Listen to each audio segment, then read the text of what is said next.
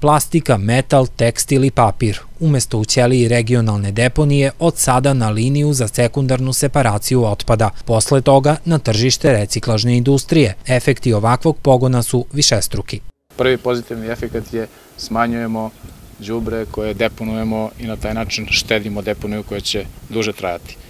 Drugi pozitivan efekt je što od nečega što ljudi bacaju, mi pravimo novac, ovde će biti zaposleno devet radnika, Postrojenje je samoodrživo, a predstavlja i korak dalje ka cirkularnoj ekonomiji. Lakša sekundarna separacija biće uz primarnu selekciju otpada, za šta će građanima kroz saradnju grada, komunalca i deponije biti podeljene namenske kante. Značaj ulaganja u ovu oblast za okrug ističe i direktor deponije. Grad Pirot i ceo okrug mapira na karti Srbije, na ekološkoj karti Srbije kao odgovorna sredina koja vodi računa i primenjuje evropske standarde u delu upravljanja neopasnim otpadom, znači od primarne selekcije, sekundarne separacije, kompostana.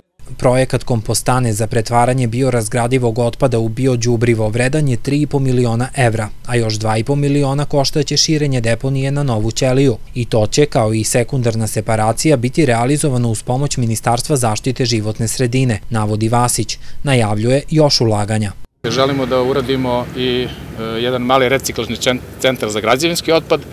U ovoj godini očekujem da i regionalna deponija i komunalac i vodovod idu još korak dalje da pravimo solarnu energanu. Želimo da dakle što je moguće više radimo na uštedi, da budemo nezavisniji. Ovde će se praviti solarna elektrana od 150 kW i to je svemir u odnosu na ono što smo nekad počeli i u odnosu na ono što 90% opština u Srbiji nažalost i dalje radi.